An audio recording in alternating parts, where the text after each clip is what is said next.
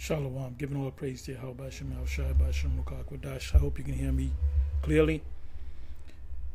Giving all praise to Yahweh Bashem Al Shai Bashem. Shalom to the 144,000, the rest of the elect out there. Shalom to you all. Anyway, this is a video. What am I going to call this? Uh, a few words on the interview between uh, Sam uh, Kestenbaum and the IUIC.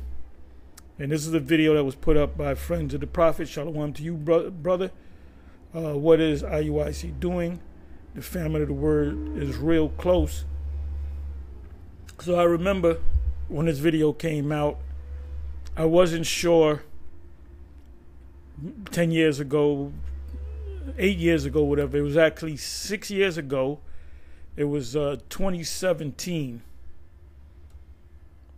So this right here was put up I guess recently. So this is an old interview from uh, 17, 18, 19, 20, 21, 22, 23, 24. We're talking almost uh, seven years. Seven years. So what I did was I put in Sam Sam uh, Keston which he's a, a JJ. We call them JJs. And I went to the actual. Let me come on and come back over here. So this is the actual original video IUIC event. Um, as you can see, six years ago. So I'm just going to let it play and then I'm going to stop it and I'm going to, uh, precepts come to me, you know, if he goes off on something.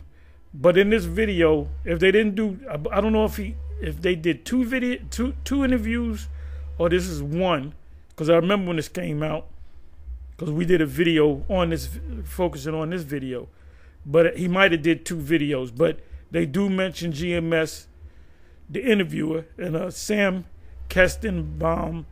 He writes for uh, several uh, publications. Let's say he he also writes for uh, the New York Times.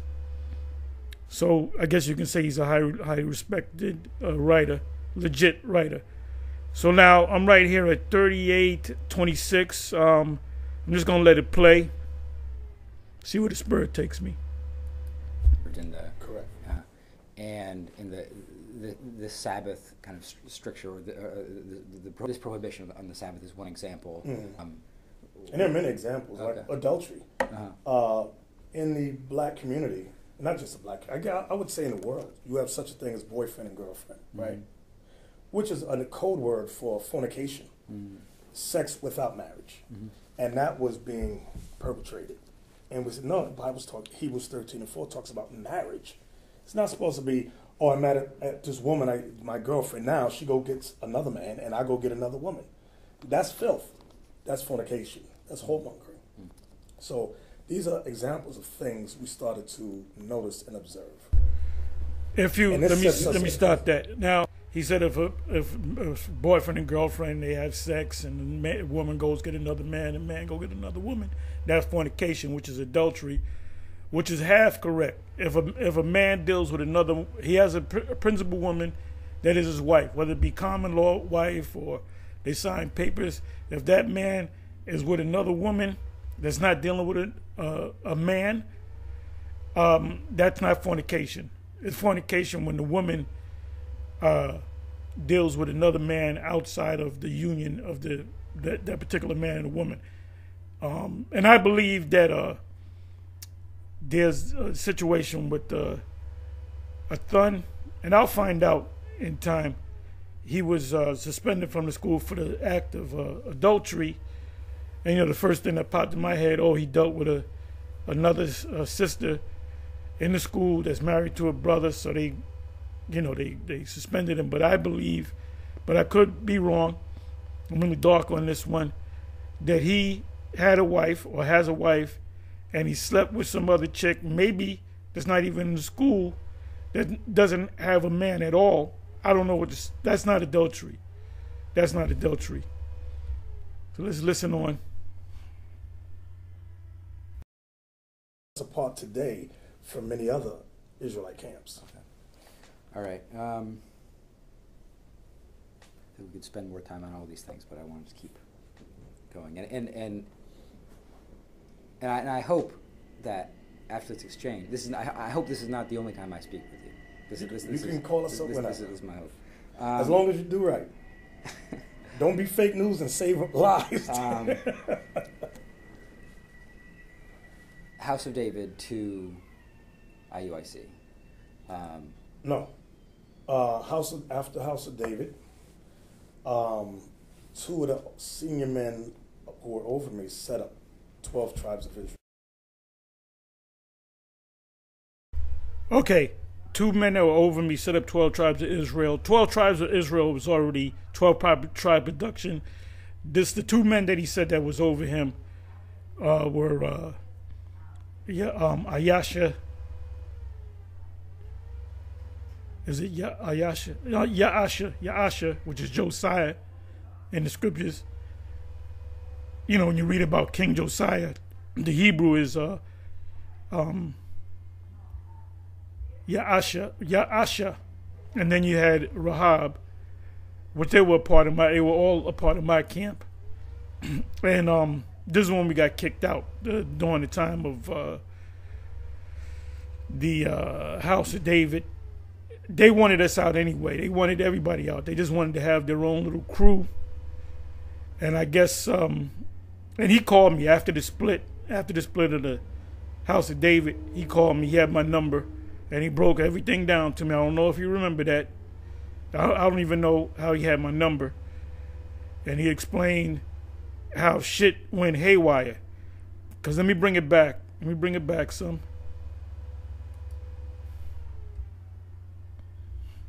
We could spend more time on all these things, but I wanted to keep going. And and and, and, I, and I hope that after this exchange, this is I, I, hope this is not the only time I speak with you. This, you, this, you can call us this, up this, whenever. This, is my hope. Um, as long as you do right. Don't be fake news and save lives. Um, House of David to. This individual, familiar, but I believe he fell off. I haven't seen this man. These two, I believe this is Captain Joel, if I'm not mistaken.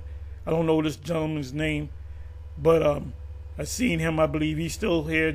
Captain Joel is still around. This individual, I, I, like I said, I remember his face. I believe he uh, became disenchanted. You see what they're reading. eating that.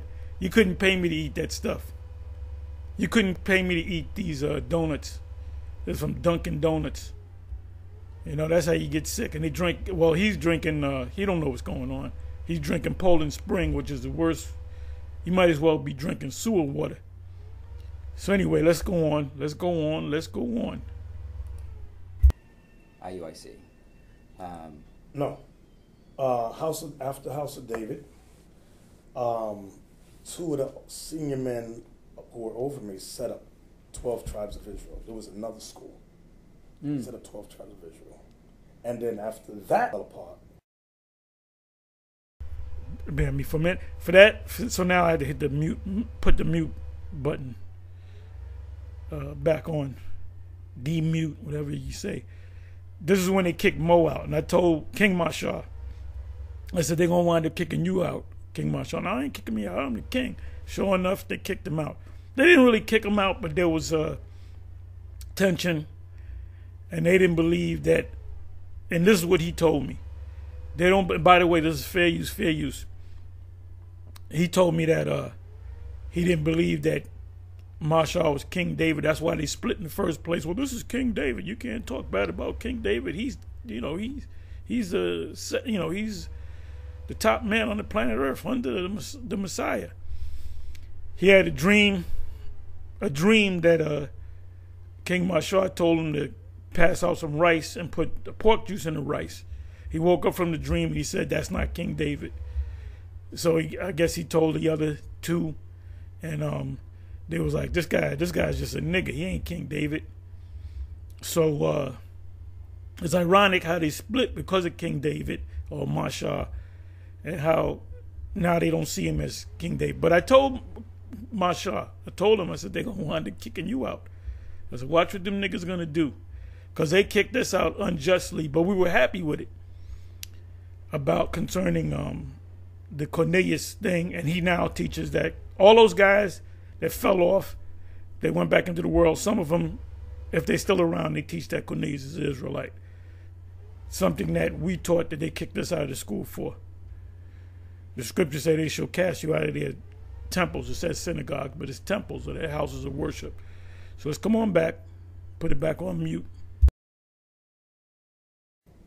Then I set up. Um, you heard what he said. He said, Then I set up. I set up.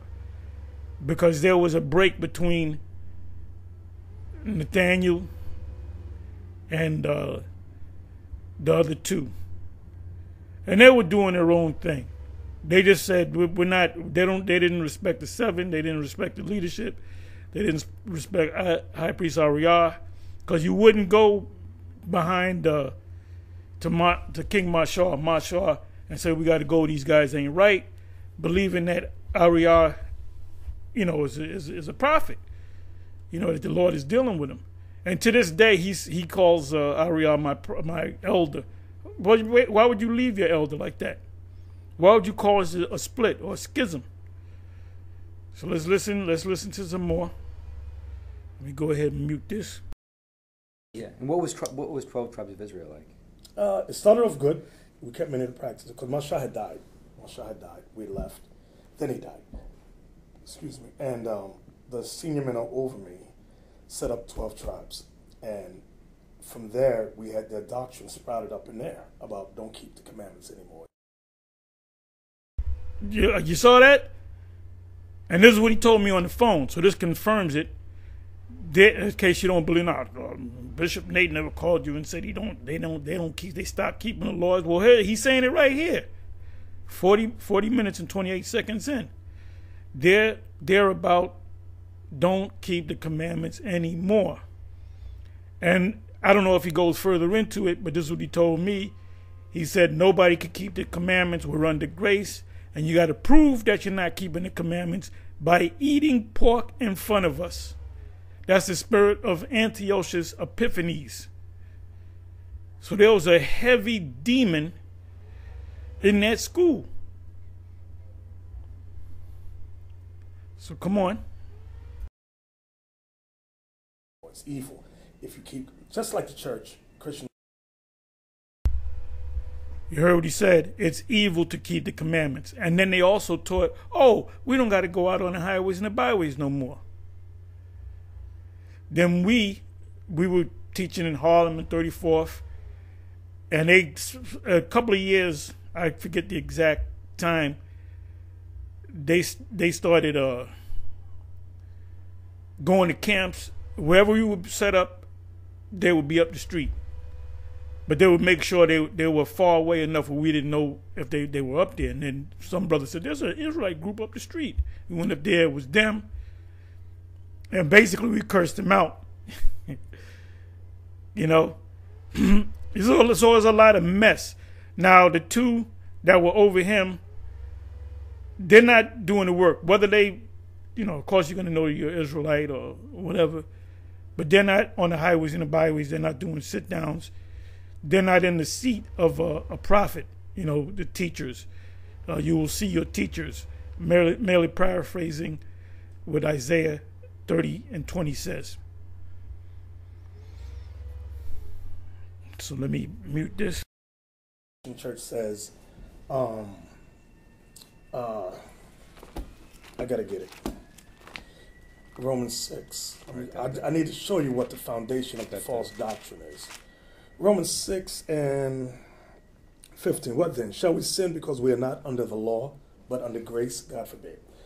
So, what Paul really meant was when he says we are not under the law, he meant the law of Moses in reference to animal sacrifice. But under grace, meaning the grace of Christ who died on the cross. But we still have to keep the commandments. That's why it says, What then? Shall we sin? Sin means what? Do you know what sin means? Give me your definition. I, I don't have a definition. I'll give you what the Bible says. Give me, give me. I'll tell definition. you what God says. The definition of sin. First John three and four says. You guys love your language, really, really.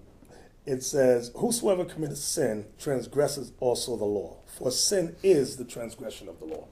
So that's what sin is, breaking God's law. Mm-hmm. Okay, so when Paul said in Romans 6.15, what then? Shall we sin, meaning shall we break God's commandments because we are not under the law, meaning the law of Moses of animal sacrifice, but under grace, the grace of Christ? God forbid. He says, no. We have to continue keeping God's laws. And that's what a lot of our. That had nothing to do with sacrifice. Ultimately, it did. You got to, you know, let me let me go ahead and read that. Uh, let me do this. Let me do this.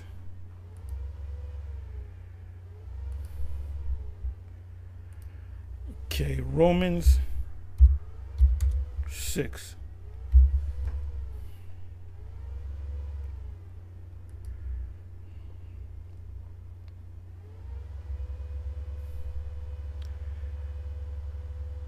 Okay, what shall we say then? Shall we continue in sin that grace may abound? We're under grace, like you pay insurance, you laid on your insurance, you get a great 10 day grace period or two week, whatever the case may be. That, that doesn't mean you don't pay the thing, you got a grace period. So we continue in sin, meaning breaking the law, that grace may abound, the Most High forbid. How shall we that are dead in sin live any longer therein. Know ye not that so many of us as were baptized into Yahushua HaMashiach were baptized into his death. Therefore we are buried with him by baptism into death, that like as the Messiah was raised up from the dead by the glory of the Father, even so we also should walk in newness of life, meaning you start keeping the laws. You can't you can't say, oh well, I got grace. I can break. You know, you deliberately break a law here and break a law there. For we, for if we have been planted together in the likeness of his death, we shall be also in the likeness of his resurrection knowing this, that our old man is crucified with him, that the body of sin might be destroyed, that henceforth we should not serve sin. For he that is dead is free from sin.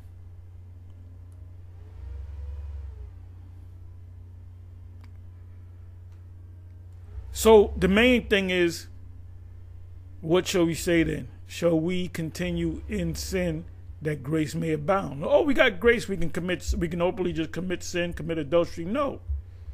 Now, are we going to continue to commit sin? Yeah. Romans Romans 7, which is the next chapter over. He said, It's not me that sinneth, but sin that dwelleth in me. So uh, it also says, I believe it's in Romans 8. To matter of fact, let me go to that.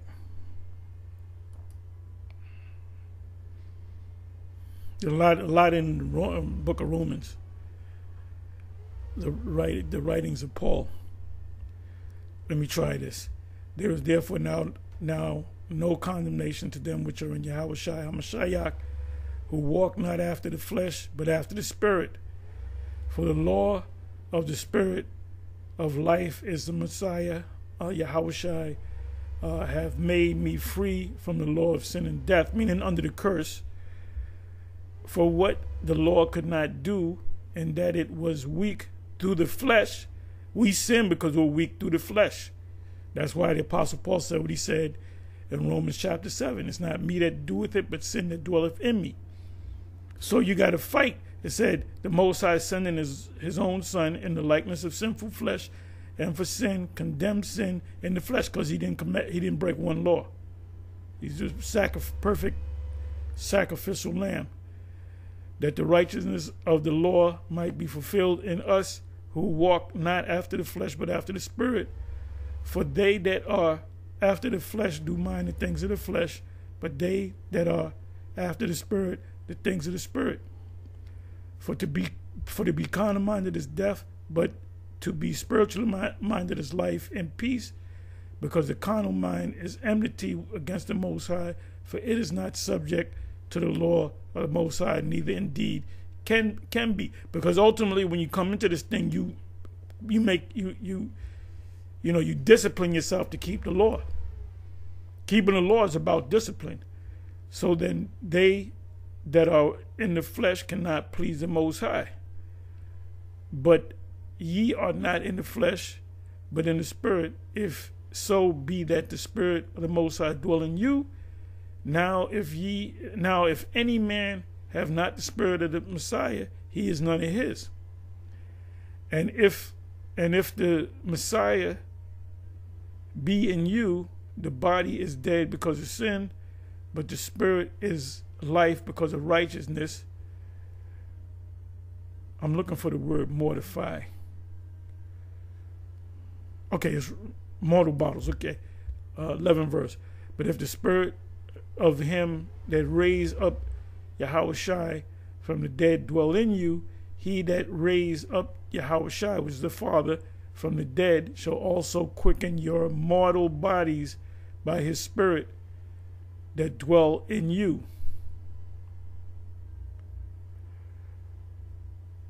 I'm trying to bear me for a minute. Let me try this. I'm in the 12th verse.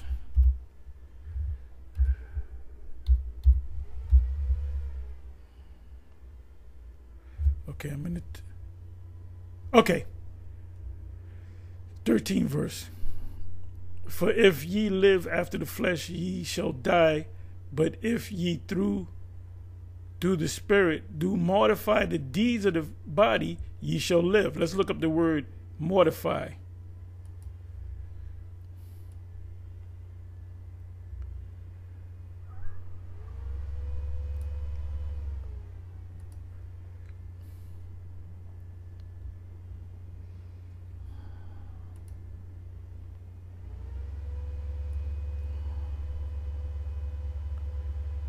To put to death. So when you start from the first verse, that's what it's talking about. You're dead in sins. And that's why Yahweh Shai died without sin. So you keep the law to the best of your ability. That's what he's saying. Read Romans chapter 7 again. So let's come on back. Let me mute this.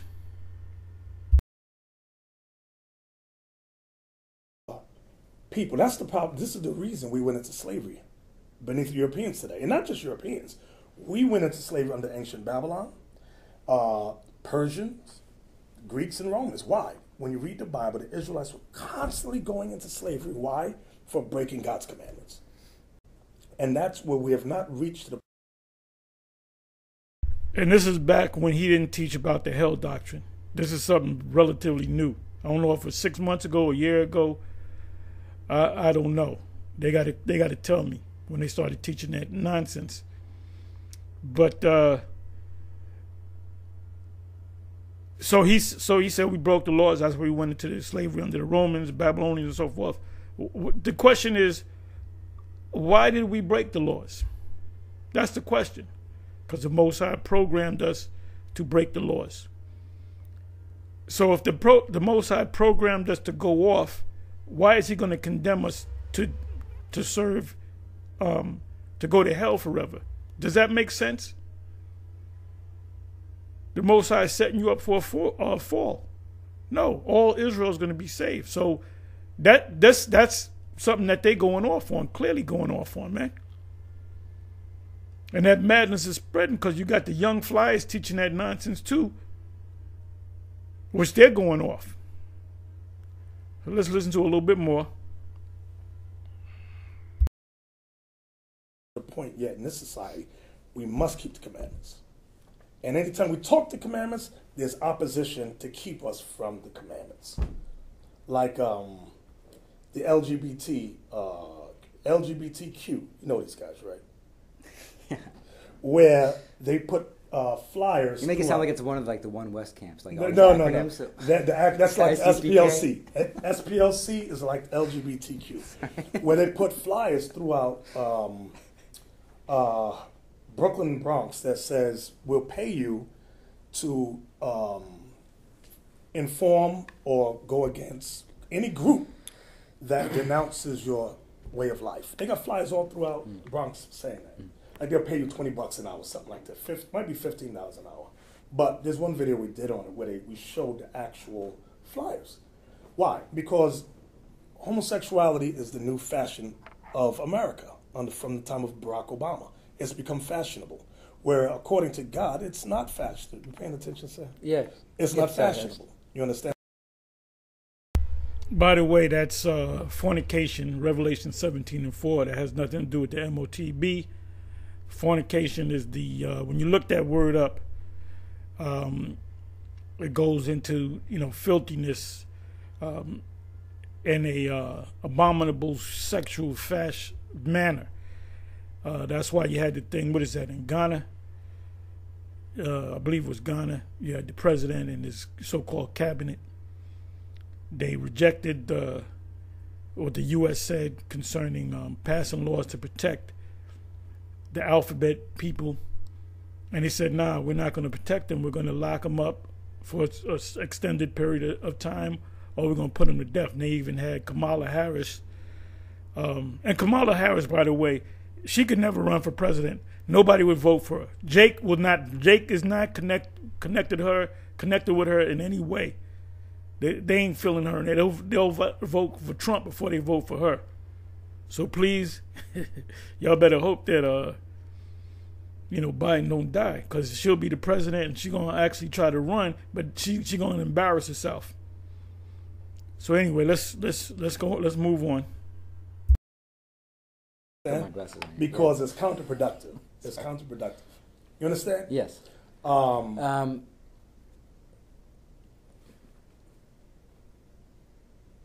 sorry, I lost. You got a brain I, I, lost. Yeah, I lost. Well, I'll finish my thought. It's homosexuality. Our people must repent not just from homosexuality, but from adultery, lying, stealing, murder, idolatry. All these things all fall in the same category of sin. It's not that one is worse than another. Ooh, like the people come up to the camp from the LGBT. Uh, where's my phone? Oh, they'll try to record us and go, "Do you want to kill homosexuals. They go like, "You want to kill homosexuals?" And brothers like, "No, they need to repent, just like a thief needs to repent." Oh, um, well, do you, do you think we need to be put on an island and murdered? Something? Are you listening? That's not what we said. You understand? Mm-hmm. For example, let me show you something. I got another scripture for you in First Corinthians. I got to show you. See? Okay. I got to show Let's you. go to Corinthians, but then come back to twelve tribes of yes, Israel. Yes, I'm gonna come back okay. to that. Watch this. This is for the LGBTQ community. 1 Corinthians 6 and 9. Listen good. Know ye not that the unrighteous shall not inherit the kingdom of God? Be not deceived, watch this, Sam, neither fornicators, nor idolaters, nor adulterers, nor effeminate, nor abusers of themselves with mankind, that's homosexuals, nor thieves, nor covetous, nor drunkards, nor revilers, nor extortioners shall inherit the kingdom of God. Here comes. And such were some of you, but you are washed, but ye are sanctified. Some of the Israelites at this time used to be idolaters, effeminate, abusers of mankind. And the message has always been change your life. Never, we're going to kill you, we're going to murder you. That's never was the message. But the LGBTQ and the SPLC will put it out there. We're a hate group. We want to kill people. That's not true. Many of the men and women that come into Israel United in Christ came from these lifestyles. It's about us keeping the commandments so we can have a better life, so that we can inherit the kingdom here on earth. That's all this is about. You understand? Yeah, no, that's clear. I, I, understand, I understand what you're saying. Okay. Um, so the twelve tribes of Israel was a was a relatively short-lived that was short-lived. camp, and what um, and right, and so so there there were some kind of doctrinal differences. Yes. That, don't keep God's laws. That uh, was the difference. Don't keep the laws. And, it, and and don't get me wrong, it wasn't just from House of David and twelve. That's the way I came. There were other right. Israel, there other yeah, and, and I'm still I'm still came from that. Kind of, still in my mind, I'm still with your you know yeah. with your thread. I know that there are a multiplicity yeah. of other you know ways people came into this. Right. Um, and and so twelve the twelve tribes of Israel still. Um, there were no kind of elders from the original, still kind of no. with that. Okay. And were you in leadership at, at, at either of those? Uh, House of David Masha has set up a council, and the council was made up, I believe, of 15 men. I was the youngest one on the council. Um, so if you throw me leadership there, but I was a young man under there. From 12, from 12 tribes, there was leadership, I think, of eight, and I was the third youngest. And do you, okay. And do you know when, uh, what, around what year that 12 tribes is? That was around 2000, somewhere around there. Okay. And so. Um, 99, 2000. Okay, so that was really a, a pretty short. Mm-hmm. Um, and, um, and, and, so the, the, the, the, kind of central doctrine there was like, would still be kind of identify. I mean, it's still a kind of, it would be identifiable, identifiable to me in terms of like, you had the 12 tri- you had the tribe chart. Yes. Um, and were you using the the Shan, the, the the holy tongue, as they say? The no, no, we had stopped by that time. By twelve tribes, we had stopped. House of David, you were using. Twelve, uh, House of David, we were still doing it, okay. and Mashal would still go into jokes and say, "Do you know what you just read in the Hebrew?" We go, "No." Okay, so so so you're you're kind of suggesting or telling me that. You heard what he just said. They were using it even um, you know, the House of David and King Mashar, they were using the Hebrew. Now, when they set up twelve, you're hearing it from him. You see it. You, you, you can see it written. If you can't hear it, if you're hard of hearing, you can read it. Read it, Richard. Inside joke. I had to say that.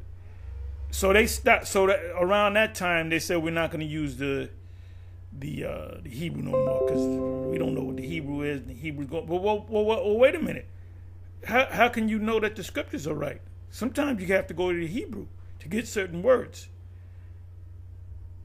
And you're not a scholar goes into the a Bible scholar has to go into the Hebrew and into the Greek and or into the into the Greek, whether it be in the New Testament or the Old Testament. If they come across the scripture and they don't fully understand in the Old Testament, let's go into the Hebrew word. Let's go into the root of the word. The term is the term is etymology. So if they if they're going to say, well, we don't know the heat, well, then how do you know that the men that were appointed by, I believe it was 47 men, somebody can, you know, help me on that. I'm not going to look for it. But uh, how are they going to know whether the King James Bible is, you know, the exact translation? Even King James, if you got the Red Bible, he made a statement. He said that this this King James Version Bible, how did he say it? is a is a revised, constantly revised. So there were certain times where they had to kind of redo some things. Oh, we got the wrong word for that. We got to change that. So let's let's let's uh let's listen. Let me mute it again. That Masha was kind of anti. Right, he, right. He, he he never read it. He'd just sit there.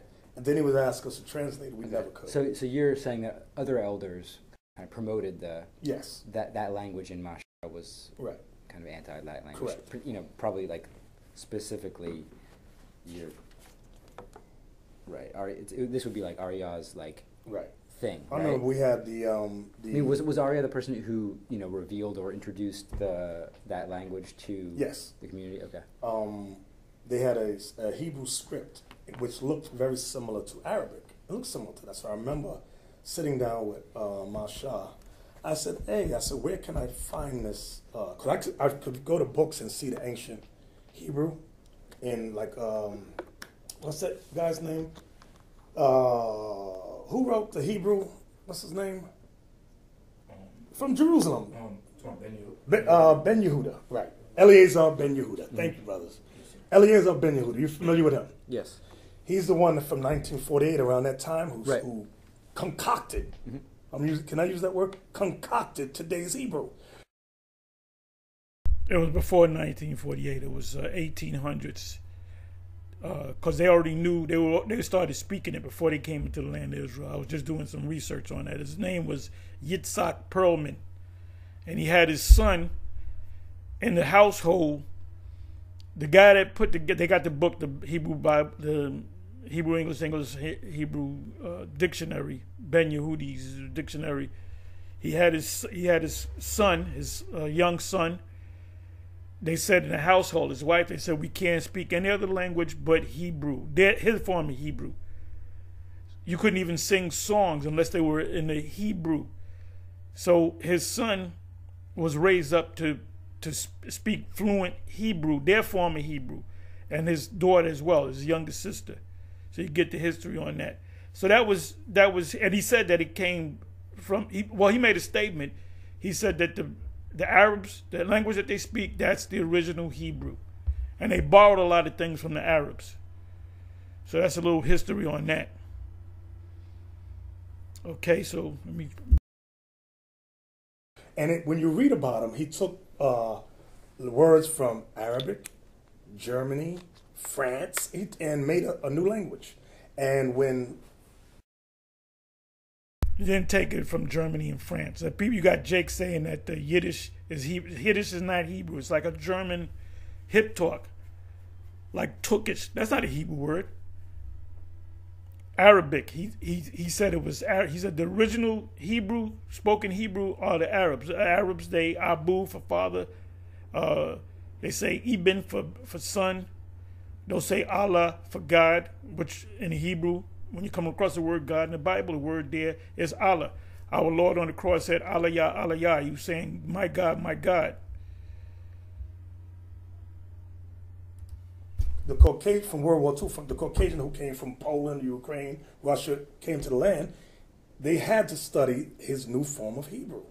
You understand what I'm saying? You look confused. No, no, I'm with you. no, because they didn't know those people that came from Europe, different parts of Europe, to come to the land of Israel. they didn't speak he they didn't speak Hebrew. They spoke whatever. If they're from Poland, they spoke the Polish tongue. If they're from Germany, they spoke the German tongue. So they had to learn it. So when did they start speaking it fluently? Through their sons and their sons' sons. Because they were looking to get into the land of Israel since the late 1800s. They had a plan to go into the land of Israel. To fulfill a, a, a false prophet, uh, prophecy. So now let's listen. Let me mute this again. He's looking at me like, what are you saying? No, no, I'm with you. Okay, so that language is made up. That's not the pure language. And this is what many Israelite camps argue over. And not never understanding what we read earlier, Zephaniah 3, 8 and 9. Mm-hmm, mm-hmm. Remember, remember that? Yes. What did it say? Yeah. What did the, it say? language will come, you know, exactly. next time, right? Okay, I got a question. Let's go to the scriptures. He said, when the kingdom comes, and not so many words, then we're going to learn the Hebrew. Okay, so now, how do you explain this, Bishop Nathaniel? Isaiah 19.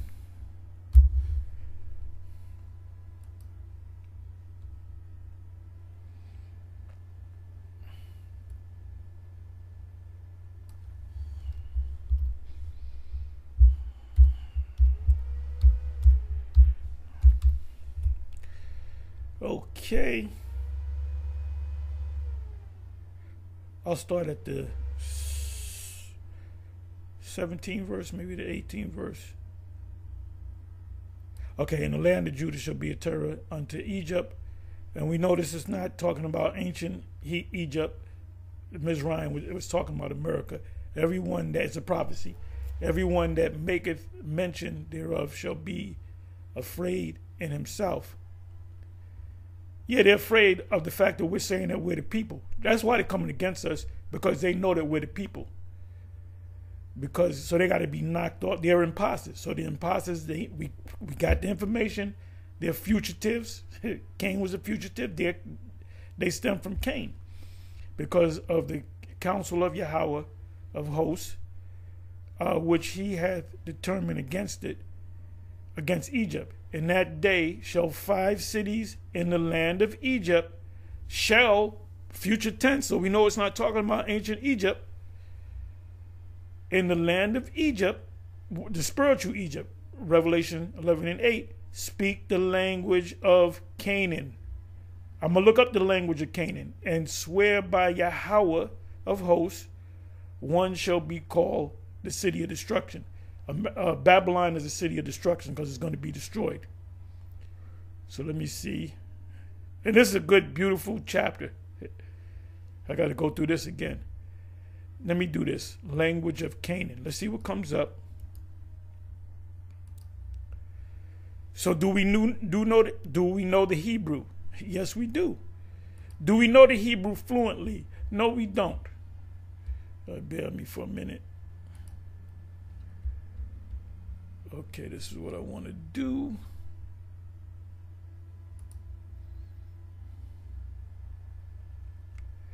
Let's see what comes up.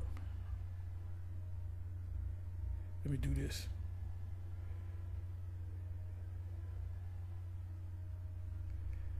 Okay. Five cities shall speak the language of Canaan. Let's go Canaanites. Okay. The only living Canaanite language is Hebrew. Five cities. Now, is Nate, uh, uh, Bishop Nathaniel, is he going to say, well, that's talking about ancient uh, Egypt? He's if you go to Revel, um, Isaiah chapter 19, it says, what is this talking about Egypt? He's going to tell you that's talking about America. So it says that five cities of America shall speak the language of the Canaanites. The language of the Canaanites, the only living Canaanite language is Hebrew, which was revived as a spoken language in the 19th and 20th century. That's what uh, Yitzhak Perlman. Uh, uh, see also Hebrew language Phoenician language. Phoenician language, Phoenician, this is a Greek way of saying Canaanite. So let me, let me, okay, right here. Phoenician language, uh, an, ex, uh, an extinct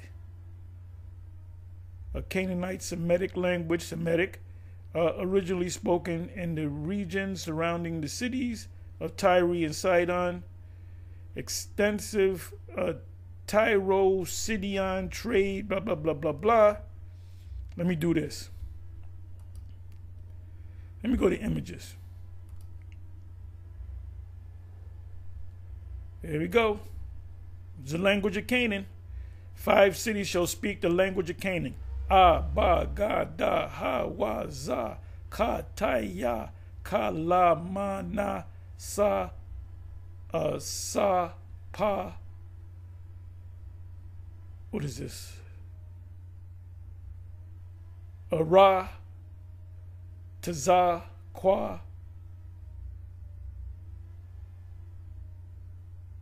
Ra, Sha, Tha.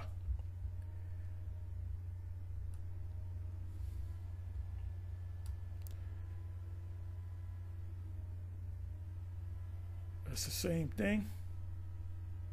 There's a language of Canaan. Five cities shall speak the language of Canaan. Trying to find a better sign.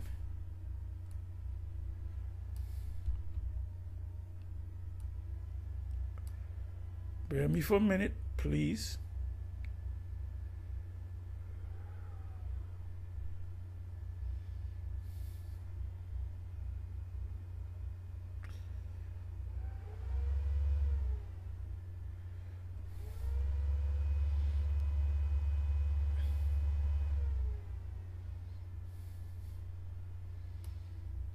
Assyrian, Aramaic, whatever you want to call it. Here we go. This is a better one. Okay, this is a part, right? Ah and Tha. I am the Alpha and Omega. That's Greek for the first and the last.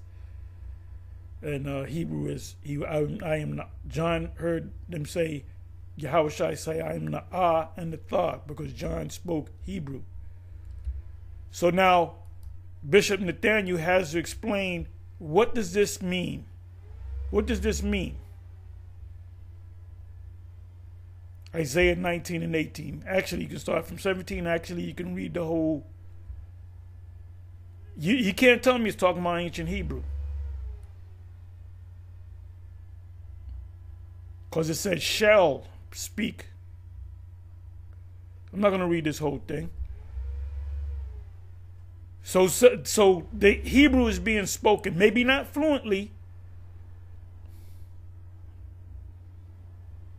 Come back here. What the language will come, you know exactly this time right now.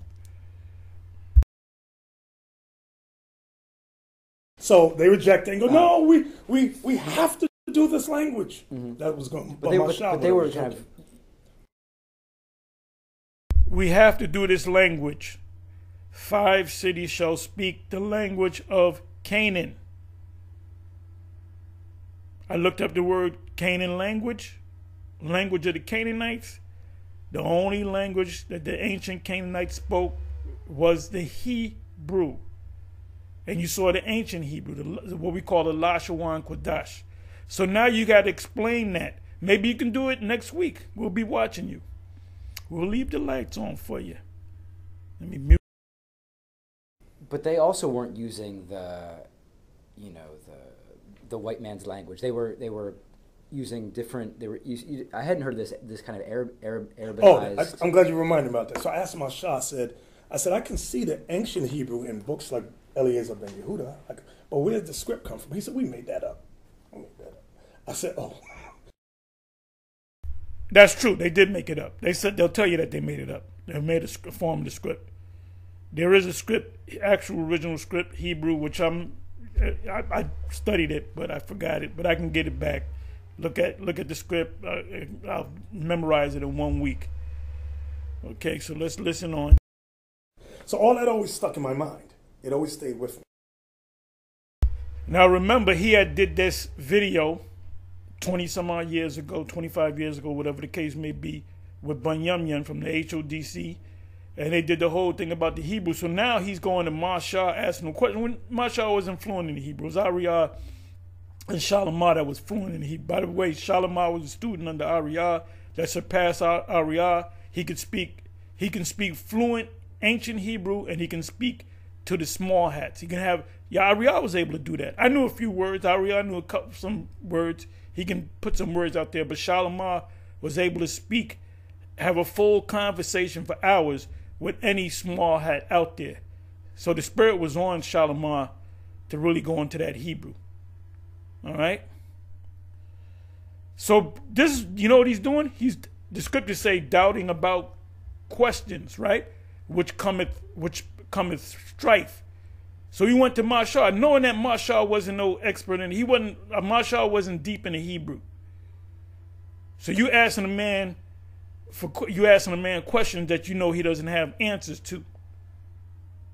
And this is the reason why you let you made sure you couldn't you know took separated Marshall from Ariyah because um, Ariyah was a top teacher. You couldn't play that bullshit. So so that showed you that he had doubt. Why would he do that two hour, whether it's two hours, hour and a half, whatever, hour and 45 minutes with Bunyamin and go through all them books to really throw it all out? That's why they don't teach the Hebrew. They questioning that shit. So is there a foundation? Is the, is the Most High there? Hell no, the Most High ain't with the IUIC. That they ain't no different from uh, the, the the NOI. You know why there's so many people following the NOI? Because they all wear the same suits they march. You know, that whole marching thing, they got that from the movie X, which they used to do back there. Oh, I got to get down. Look at them black men march. They all dressed the same. A, a Jacob buy a car based upon the way it looks on the outside. They don't check under the hood like an Edomite. Okay. So let's let's let's let's listen on. Let me mute it.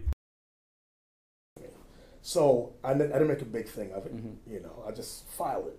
You know. And so so why do these elders make up this? Because the languages we have is not our language. Just like our names, our surnames, they're your names.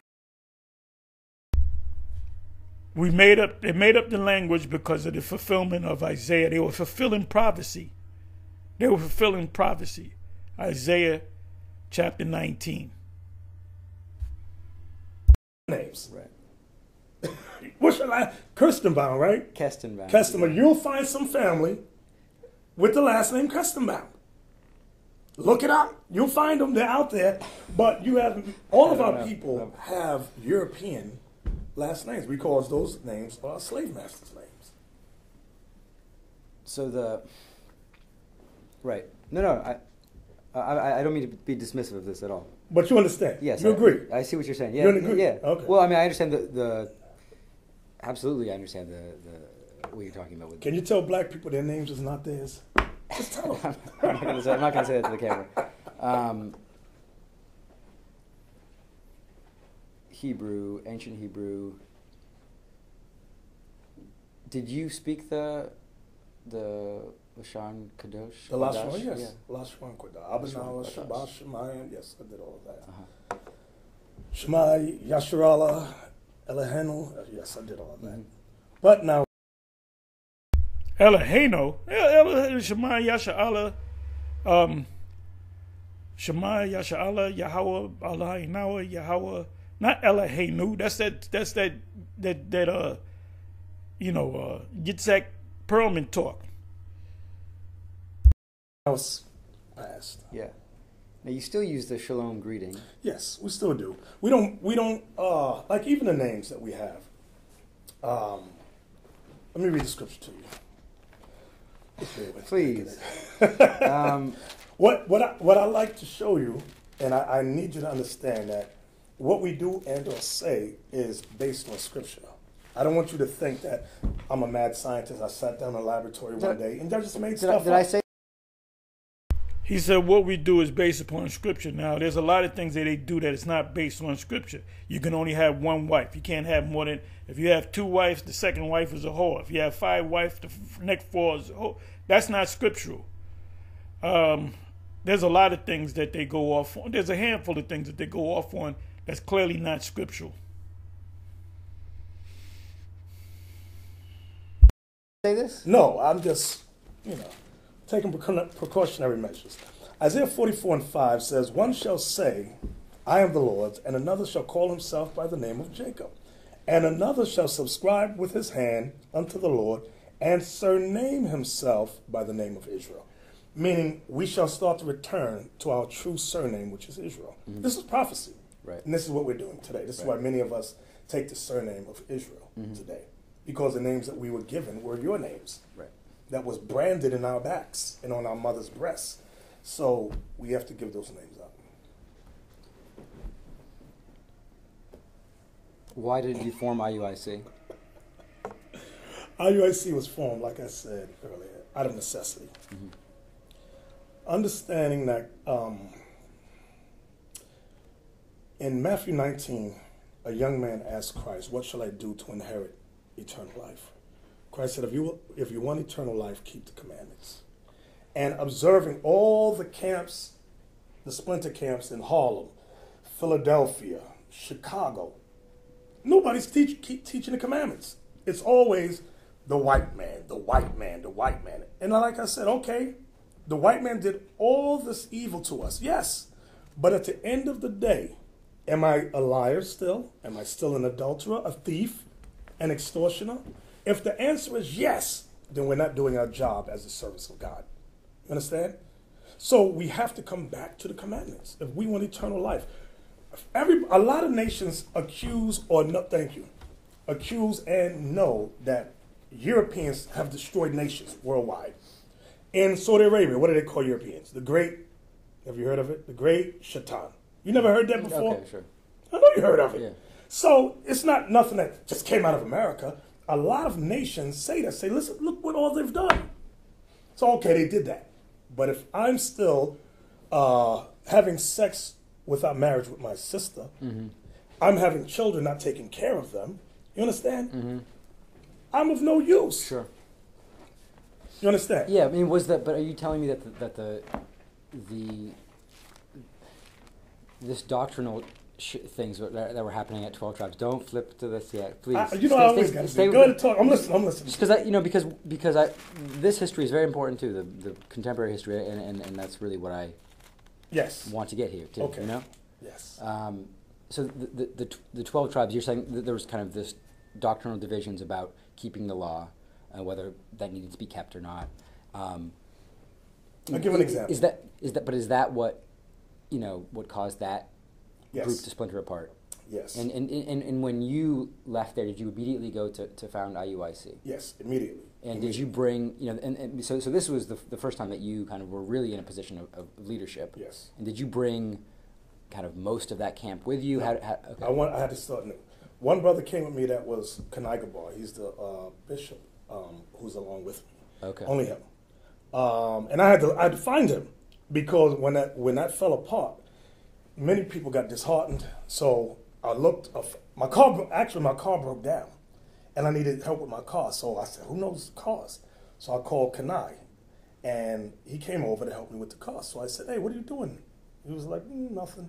I said, listen, we got to start bringing this truth back out again because what we've been through is hell. Mm-hmm. So he said, what do you have in mind? I said, well, come over this Saturday to the house. So they, him and his wife's family came over. We went through scriptures again. I said, we got to start again. So that's how it started. What was the breaking point for you at 12 Tribes? It was so a group of brothers went to Dominican Republic, and uh, I said, "Don't go," because in Dominican Republic, in Dominican Republic, there's a lot of prostitution because our people are poor. I said, "Don't go, so you're gonna make a mistake." I'd say about maybe eleven of them went. They all came back and said, "Listen, we all fornicated. Couldn't help it. Women were too beautiful." So they said, "We don't want this Bible stuff no more. We just want to do what we're doing." So and then what happened was. Um, were well, they were they there on like a, a, a mission of something? Yeah, they were there doing. They like, said we're gonna hand out flyers. Uh-huh. I'm like, I told them don't go, but I'm I was a young guy, but I'm like, they wouldn't. Man, we're gonna go. We're gonna do it. So, all right. Sure enough, fornication, all over the place, condoms flying, all kinds of stuff.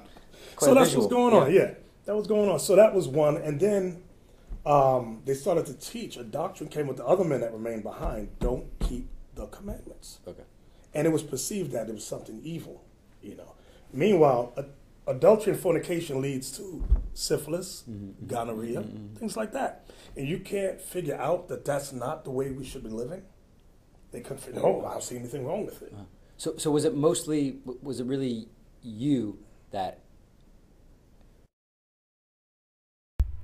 So you can clearly see that after they got to King Marshar's ears to cause him to break off from, you know, One West, you can see it was nothing but downhill. There was no foundation. There was no foundation with that first split with, with the House of David. There was no foundation there. And today, there's still no foundation. It's a house. The, the IUIC is basically a um, what's the term? Uh, a house of cards. You know, a certain wind come along, it all blows down. One wind I'm blowing at them to that house of cards is, he said, well, we, we don't know the, the, the Hebrew. We got to wait till the kingdom to get the Hebrew. Um, please explain to me, anybody in the IUIC, please explain to me Isaiah chapter 19. You can do the whole chapter. Matter of fact, this coming weekend, this coming weekend, I'll be looking, I'll be listening. I'll be I'll leave the lights on for you. I want you to tell me what Isaiah chapter 19, I believe it's verse 18, 17, 18, five sh- cities shall speak the language of Canaan. What is that talking about? let's listen on. leaving was, was a kind of a personal choice of yours. Yes. The camp did not like right. break it was apart. still going on uh-huh. for a little while. Okay. So I left. Okay. Started so it was really a, kind of a personal decision that this place is not yes. keeping the law. Exactly. I need to kind of. Um, they going to try. They tried to kill me too, but that's another story. really? well, they said, "Oh, I had a." One brother said, "I had a dream that um, you were teaching the Bible, and there was a long line of us with bats, and we and we treated you like a pinata." I was like, I said, "Y'all hitting me?" He said, "Yeah, we were trying to kill you."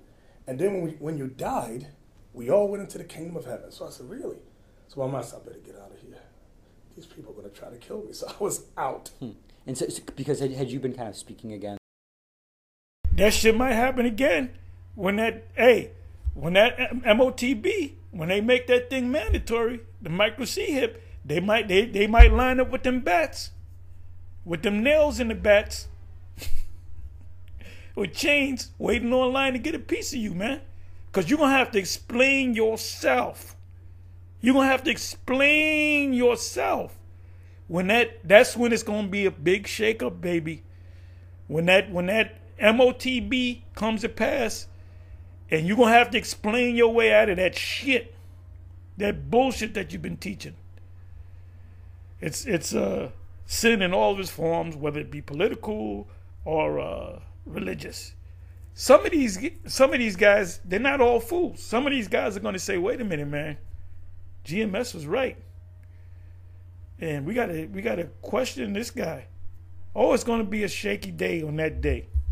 Oh, it's going to be a shakeup. So let's listen to some more muting it. It's getting very interesting. Against Or, or I was speaking against okay. the doctrine of not keeping the commandments. Now all of a sudden, right. I was the evil one. Okay. So I said, "Interesting. I have to go. This okay. is straight madness." So that led to that. Okay. And um, what were the early days of IUIC like in, in, in, building that up? That was in my house, in my apartment. And, and sorry, just like geographically, we're 12 Tribes of Israel is, is, is here in. That was in Harlem. Okay. Around, I believe it was 126th Street, 126th Street. Okay. In Amsterdam, it was around there. In, in you're a New Yorker. You mm you're raised in. I was raised in in Harlem area and. All over New York. All over New York. My okay. family's from the South, though. Okay. So so House of David is also in. New York. In Harlem. Uh, now it's in Brooklyn. Okay. But it was. It was. And and did bo- either both of these camps had had because I know that camps today have lots of may have different you know schools may have camps mm. as you do across the country. No, not really. Well, some do. Some do. Most. But but but I mean, but um, these ones you're talking about, House of David and Twelve Tribes, were, were just like kind of contained uh, yes. camps, just like one uh, one room with congregants coming yes. weekly mm-hmm. for Sabbath yes. learning sessions, like the kind of like, as I might see now with with uh, um, like a room full uh, of congregants and elders up front reading from preaching from to, like two books, like the, having a reader and a I don't know the language you, you described, but you have the a reader, teacher a teacher and a reader. Mm-hmm. So that's that that was kind of the the form of practice at both at both of these two? Yes. Okay. And it, was that a form that came from the original? The original One West. Okay. And and uh, because because I have visited some other Israelite non One West places where similar type of uh, there there's like a reader and a and a, and a preach and a, and a teacher in, in, in the same way. Mm-hmm. Do you think that that form originated in you know from maybe you don't like this word originate, but uh, you know, you know, where was it kind of codified as like an Israelite practice in?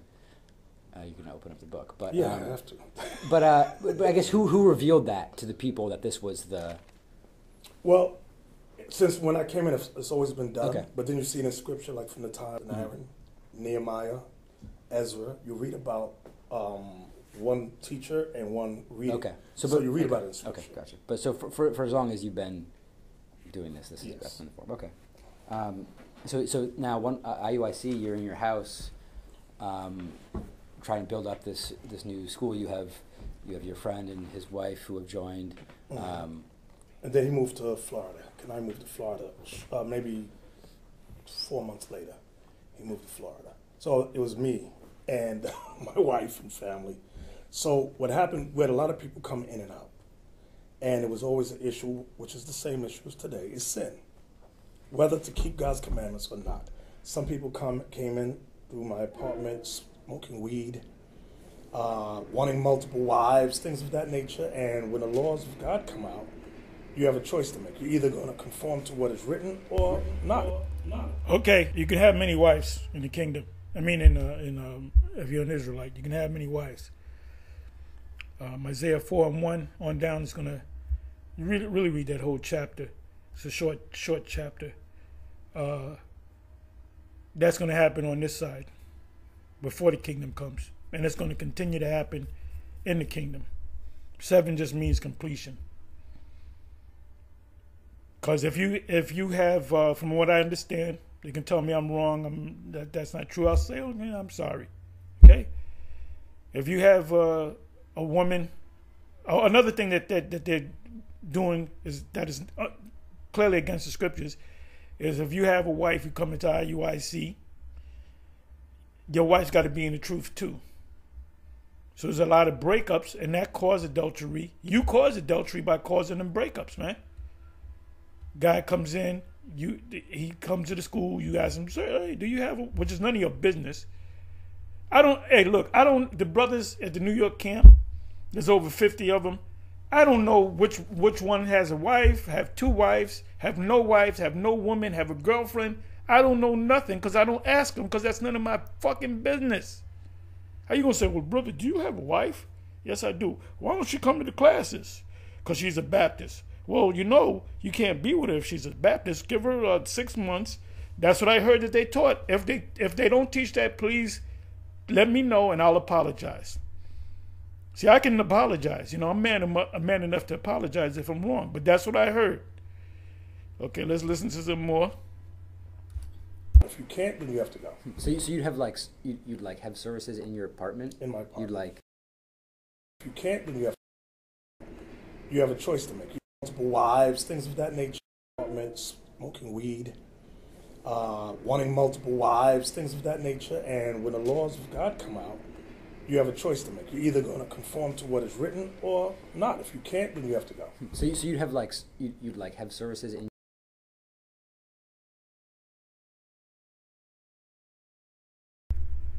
So he mentioned smoking weed, having multiple wives. If you can't conform, you have to go. They're kicking people out for keeping the laws. It's lawful for a man to have more than one wife. That's in the law.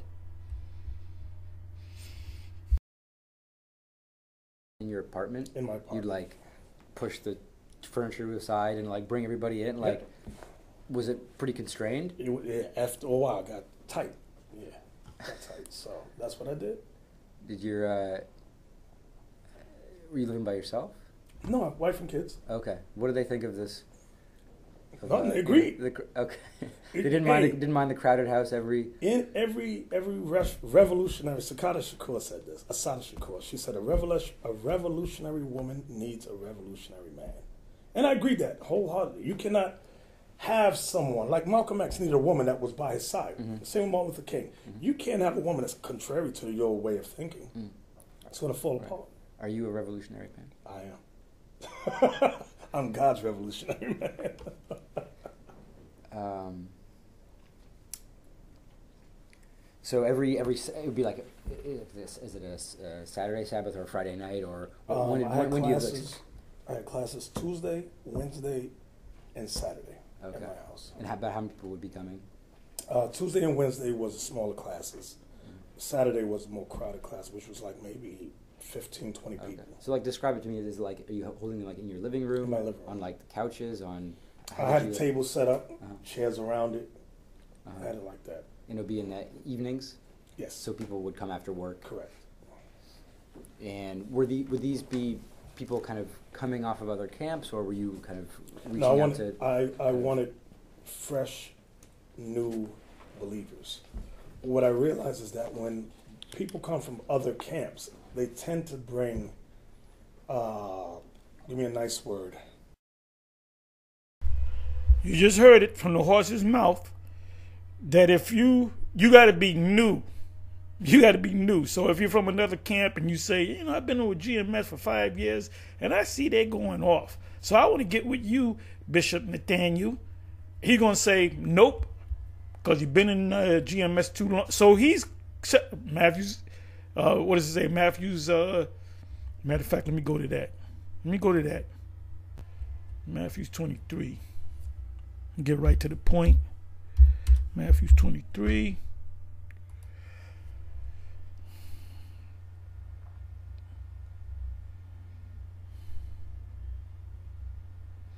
Go right to the point.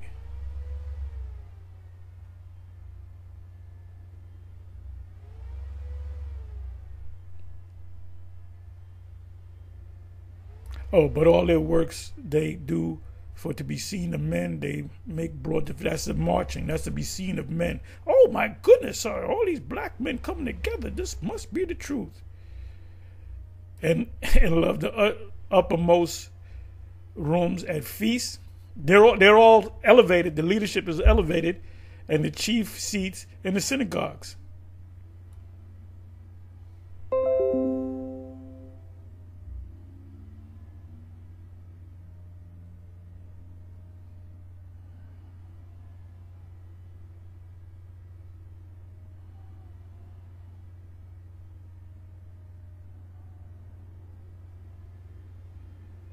Yeah, I want to read this whole chapter. Oh, this is what I wanted. This is what I wanted. See, if you're from another, we want new people. We want newborn babies that don't question nothing. But if you part of GMS or any other camp, and you've been in the GMS or any other camp for five years or whatever, we will close the doors on your ass, going against the scriptures. Matthew 23, verse 13. But woe unto you, scribes and Pharisees, hypocrites! For ye shut up the kingdom of heaven against men.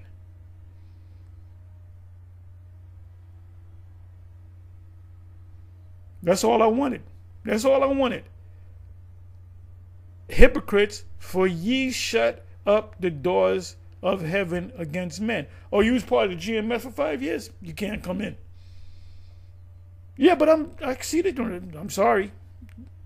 So this is this is clearly going against Matthew 23 and 13.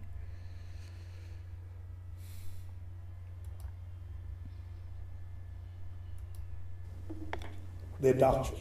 Right. And generally it made their doctrine that goes against God's laws. Right. And it will cause confusion. So listen, you go do your thing, let us do this over here. You know, I can't have women coming in to learn the Bible. You know, women well, what about Hebrews? Wait a minute. What about Hebrews? What is that? Five and twelve. You need that one teach you again. So if you got a guy from GMS, five years, he said, ah, GMS is going off. I want to get with you guys. So what scriptures come to your mind? Hebrews 5 and 12. Was it 12, 5 and 12, 12 and 5? 5 and 12. So they, those that's two scriptures that you're going against.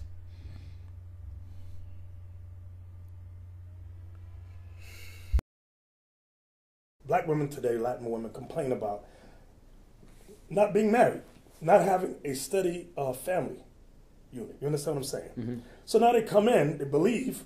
Now you got some guy to the side talking about, oh, you could be my second wife or my third wife.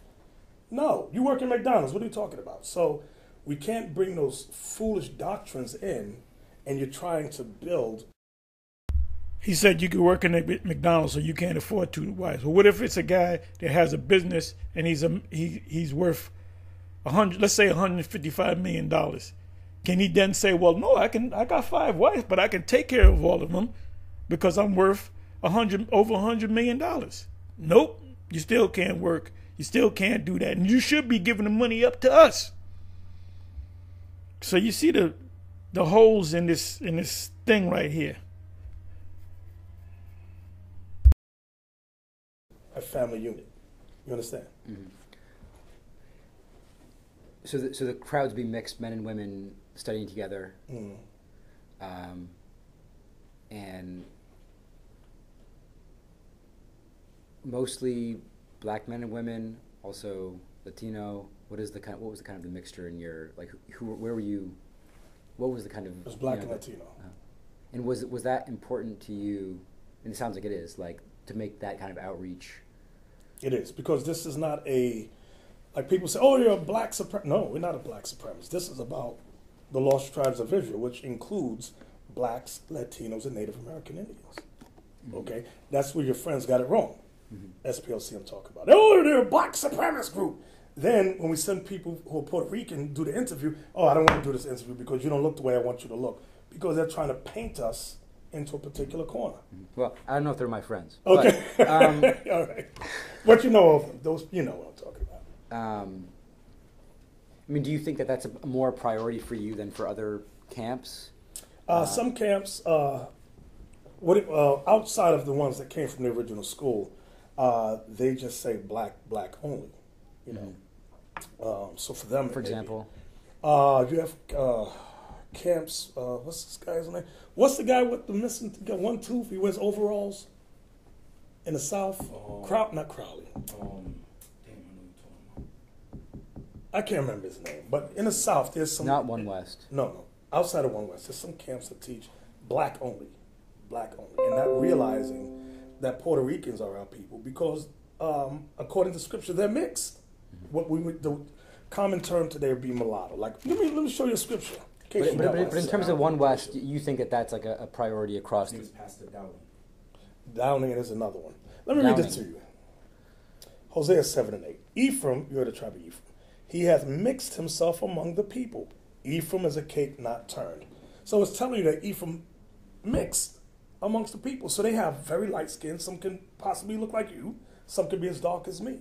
So the Bible tells us from the time of captivity, Ephraim always mixed with the people that enslaved them. Some camps accept that, some don't. Say, no, Puerto Ricans are not people. You understand? Mm-hmm. And when you say camps, but though you don't you don't mean one West camp. As far as you know, all right. West all, all one West, West hold to that. Okay. Yes. Um, so you understand what I'm saying? Yeah, yeah, yeah. Okay. Um, and so, in, in, terms of the time frame, we're now in like in 2003, 2000. When you when you're having these like uh, the home learning sessions in, in, in your house? That's 2003 Okay. Um, and what was the when did when did you realize okay this is was there a moment you said, okay, this is working? Like this is. Yeah, when we got a steady group of like uh, ten brothers that were consistent for like close to a year, consistently being there. I said, okay, this should be the group. I believe this is the group. Now that we can go on the streets and teach, because I would just go on the street. Me, Kanai, and there was one other brother would go on the streets, but everybody else I would just keep in my apartment.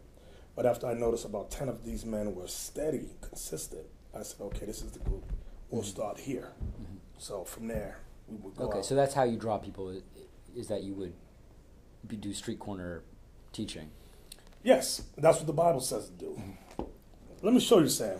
And in case um, you're not familiar with it, you know where I'm going. I'm going to Proverbs chapter one and verse 21.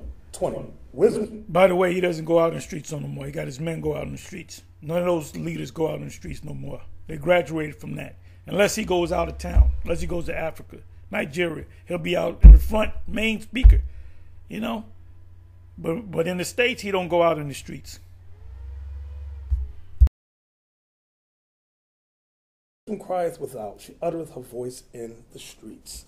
That's what the Bible says. So wisdom, when Christ taught the prophets, they were always out in the street. Mm-hmm. Um, and so this is this is how you would so you'd go this aside from the my question is, why isn't he out on the street? Why isn't the leadership out on the street? That's my question. Learning sessions, you would have like a, a core group of some people. Typically, you're saying it would just be you and, and one or one or two other people in the early days. Yes. You'd be out on street corners in Harlem mostly. Uh, no, uh, we taught on Utica in Brooklyn. Brooklyn. Okay. Utica Eastern Parkway. And uh, would you would you be out on Saturdays or on Saturdays? Uh-huh. And, and wh- why Saturdays? Oh, it was the Sabbath. It was the Sabbath. Is so that, we, is we that, had days off. Uh-huh. Right. So right. Sabbath is not Saturday. Sabbath is comes in based upon a new moon. So again, he doesn't understand the scriptures. Days days are based upon the new moon. The new moon, months, high holy days. Every high holy day, every high holy day, every feast is based upon a new moon. 14 days, blah, blah, blah, 15 days, whatever, 10th day, 9th day at evening. No Friday sundown to Saturday sundown. So when they call themselves keeping the Sabbath on a Friday sundown, Saturday sundown, that's not necessarily the Sabbath unless it falls on the new moon. So so he's not going by the scriptures. And he can't say, well, I didn't know. Well, you know because we here at GMS taught it. We taught it many a times. We're saying it right now. We're teaching it right now. Right. Right. Um, and that's how you drew. That's how. Is that how most people would would, would come to you? you would like a, you, something would be drawn in. You'd say, "Hey, we're having a learning session." Yes. Uh-huh. Just like that, and our flyers. Okay. That. And so, so then you realize at one point, okay, this is like there's a, a body of people who keep coming back. and that must have felt good. That yeah. this like that this. It's that mustard seed that Christ mentioned in Matthew thirteen. It starts off the smallest of all seeds, but in the end, it's going to be the largest. Okay. Right now, you have Roman Catholicism, one of the largest religions, Christianity, followed by Islam. But the truth of the Israelites, this is going to dwarf everything. Mm-hmm. No matter what they do to me or any of the men right now, mm-hmm. it's going to continue. Once the seeds has been planted, that we're the people of the book, you can't undo that. Okay. Mm-hmm. Once it's like a blind blind man. Once you see, you're not going back to darkness ever again. You're going to stay in this. So that's what's happening right now. When did you move out of your um, out of the, the, the, house or you know the, the, the, home? Did you did you say like okay, we have too many people, we need to get a space to? Uh, what year was that? When did we set up 1088? What year was that? 2006, seven? I can't remember. 2007, somewhere around there. Okay. Oh. And and the um, the gentlemen who are in the room with us now were these people who were. Yes, they came all, at 1088. Okay. When we set up 1088, then they came. Okay. So so so nobody was here in the living room. In the living room, yes, but they're on Saturday here. That's okay. Asaph, Ithan, uh-huh. Yawasop, um, Kanai. Uh, those are the study ones that was in. Which room my living room, Ramaya? Okay, he was in the room. Y'all wasn't. No, sir. Ramaya was. He was in okay. the room. Okay. was, I'm with, trying to think. With with family. Yes. Um, in, in, so where was this new space? Uh, Nostrand Avenue, 1088. Okay. And um, there you'd hold, similarly, you'd hold Sabbath classes, right. or Sabbath, would you, do you call them worship services? Are you, are you Sabbath service. Service, uh-huh. Mm-hmm. And then also like, like other night classes or? Um, I believe Tuesday night we had something. Uh-huh. Tuesday night and Sabbath. Uh-huh. Okay. And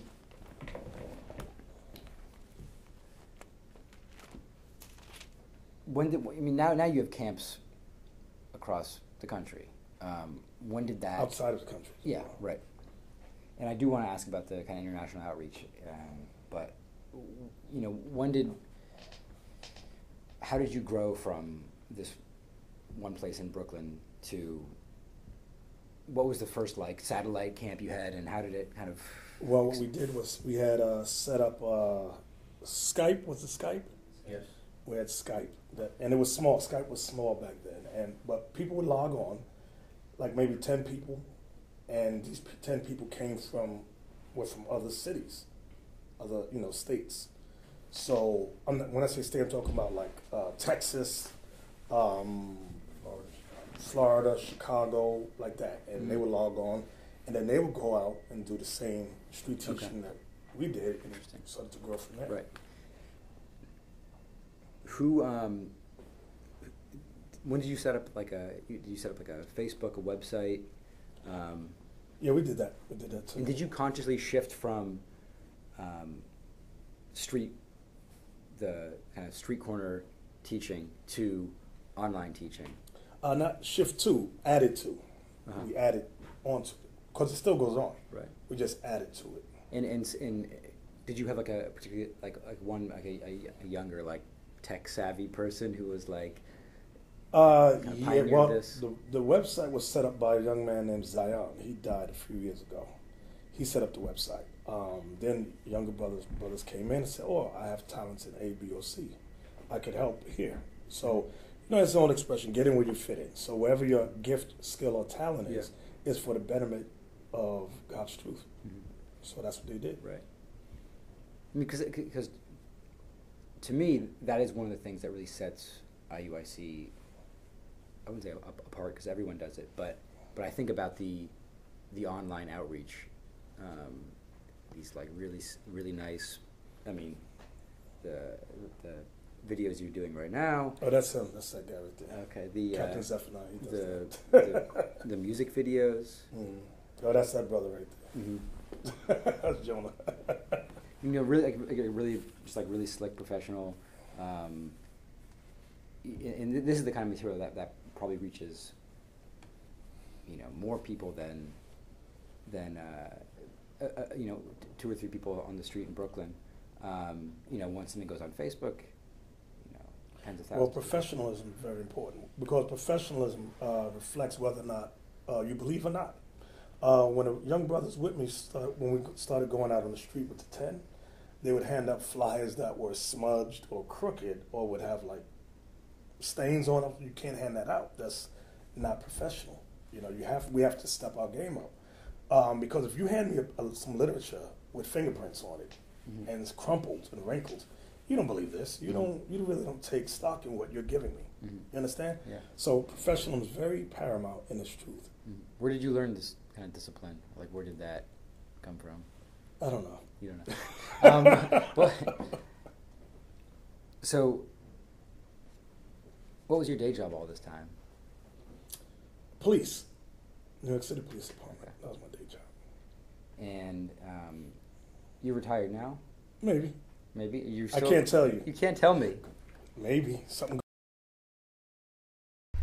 All right. The reason why I went here, um, I told you in the beginning of the video, is because I, there's probably a second interview or on this video, video the individual interview the inter, interviewer con, uh, asked concerning um, you know GMS and the Great Doctrine.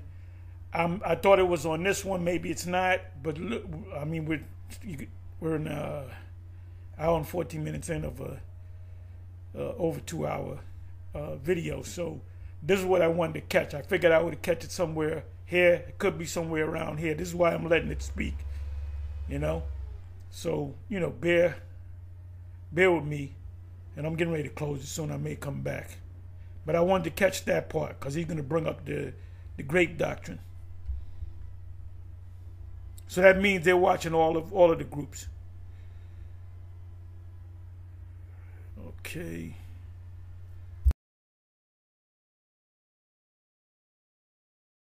Going on. I can't. you can't tell me. You said you got to do your research. I just can't tell you. I mean, I think I, I don't think you're a police officer now, but okay. but uh, um, but this that that was your career all throughout your kind of young adult and, and adult life was. Yes. When did you get involved in law enforcement? What year was that? Hmm.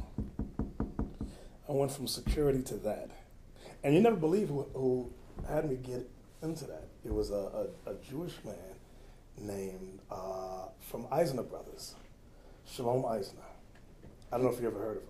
No, I haven't. He owns a, a, a t-shirt warehouse on um, Ludlow and Essex. You know where Delancey Street is? Mm-hmm. And he would always come by my job and see me and says, you know, you're doing a security thing. You're not making too much money. He says, you need to make more money than that. He said, I know what you're with that Bible thing. And he would always like try to joke me about the Bible. I would always get on him. But it was never uh, a thing of, a, I hate your God, nothing like that. So On whose part? On his, his on part? Both, on both. Because he knew what I taught. I said, hey, you know, you guys are Esau. You know, God hates you guys. He goes, yeah, yeah, yeah. He said, well, let me help you out here. So I'm like, oh, what are you going to do? So he went out and got an application, and that's how that got started. Okay. So I see the Most High uses people in various ways mm-hmm. for his for his elect. So you're doing like you were doing private security, and then you got involved in law yes. enforcement. Right, around what year was that? Uh, that was eight, no, 97, 98, somewhere around there. Okay.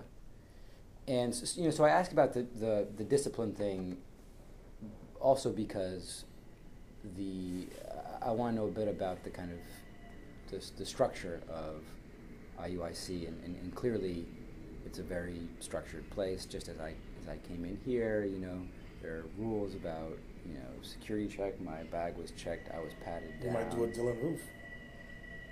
Please, Lord forbid, but you never know. Um, we get a lot of hate mail. Um, and I. Have you written one of those, one of those letters, Sam? What do you think? I hope not. I'm gonna check your fingerprints. hey, get his glass and uh, I'm joking. Um,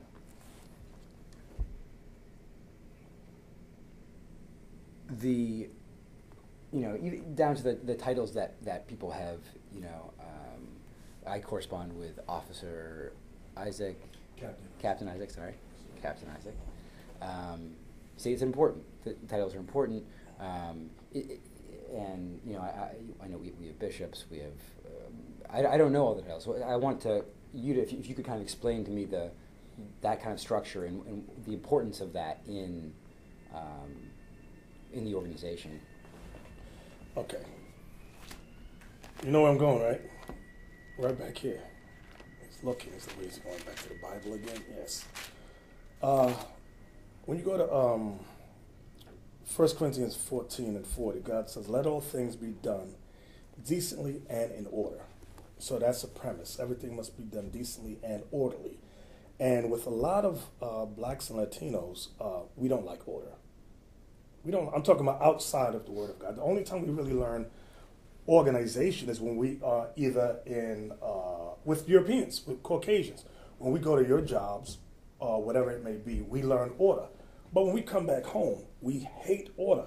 Mm-hmm. You understand? But order is very important for anything, whether it's a military, a school, anything. Even in the hospital, you have a ranking structure. A school system, you have ranking structure. Everything is based upon order. And that's what our people need to be taught. They must be taught order. Because what tends to happen is if we all think we're, we're equal, then what happens, the next young man goes, well, I knew, I, I'm just like you, and I should be the one running this. Like when you read in the book of Kings, you had young men kill kings to sit in their seat of authority mm. out of envy, jealousy, what, whatsoever, what it may be. So it's very important for us to learn to, to work as a body. You have to respect one another's position. You have to learn to respect the time someone has, their experience, and their knowledge. I'm going to cut this. I may come back. I was hoping that I would find this, uh, um, where they mentioned GMS and the Great Doctrine. Right. I mean, that, that, so I, am stopping at uh, one one hour and uh, 20 minutes so, in. So within this organization. So with that. How does that? Let me see something. Work. I, I know that. You know, what title do you use, and what title do you know do you have?